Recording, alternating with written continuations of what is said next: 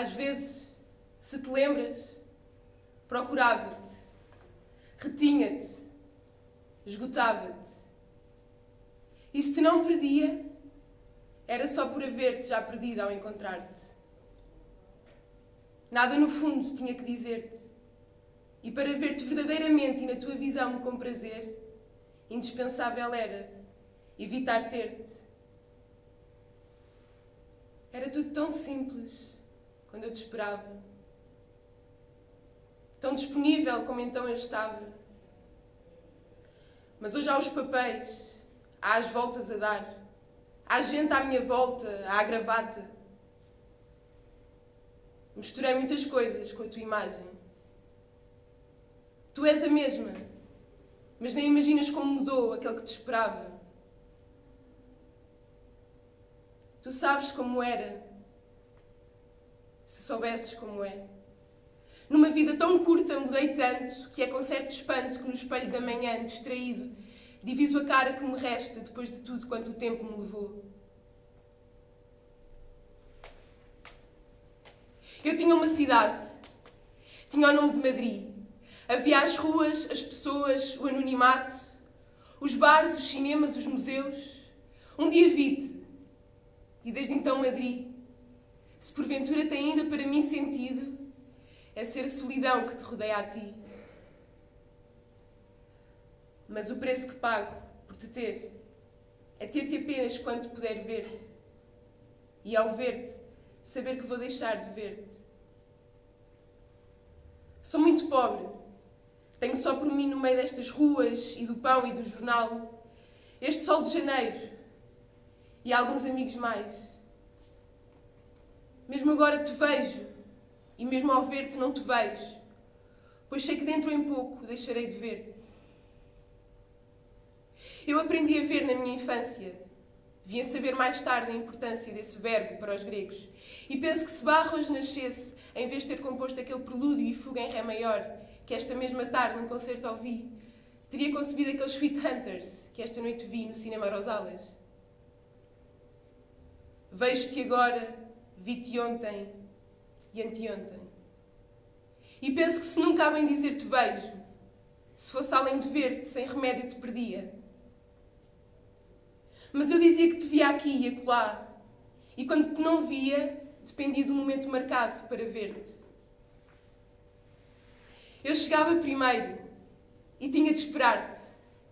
E antes de chegar já lá estavas, naquele preciso sítio combinado, onde sempre chegavas, sempre tarde. Ainda que antes mesmo de chegares lá estivesses, se ausente mais presente pela expectativa. Por isso mais te via do que ao ter-te à minha frente.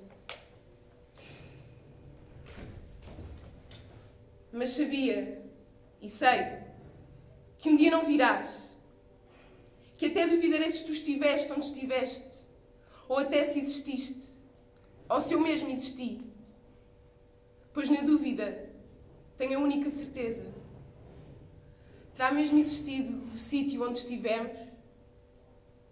Aquela hora certa? Aquele lugar? À força de o pensar, penso que não. Na melhor das hipóteses, estou longe. Qualquer de nós terá talvez morrido.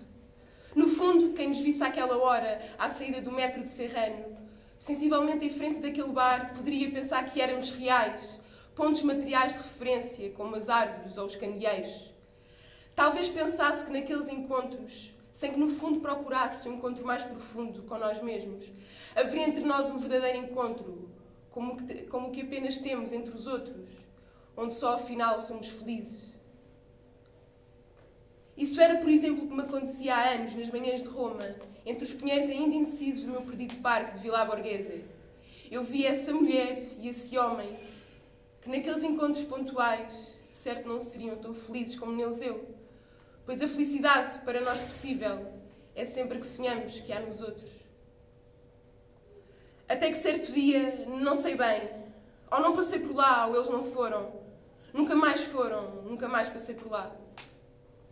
Passamos como tudo, sem remédio passa, e um dia de certo mesmo duvidamos, dia não tão distante como nós pensamos. Se estivemos ali, se Madrid existiu. Se portanto chegares, tu primeiro porventura, Alguma vez, daqui a alguns anos, junto de Califórnia 21, que não te admires se olhares e me não vires. Eu estarei longe. Talvez tenha envelhecido. Terei até talvez mesmo morrido. Não te deixes ficar sequer à minha espera. Não telefones, não marques o número. Ele terá mudado. A casa será outra. Nada penses ou faças. Vai-te embora. Tu serás nessa altura jovem como agora. Tu serás sempre a mesma fresca, jovem pura, que alaga de luz todos os olhos, que resiste ao tempo como a pedra, que vê passar os dias um por um, que contempla a sucessão de escuridão e luz e que assiste ao assalto pelo sol daquele poder que pertencia à lua, que transfigura em luxo o próprio lixo, que de tão de leve vive que nem dão por ela as parcas implacáveis para os outros, que embora tudo mude, nunca muda ou se mudar, que se não lembre de morrer. Ou que enfim morra, mas que não me desiluda. Dizia que ao chegar, se olhares e me não vires, nada penses ou faças, vai-te embora.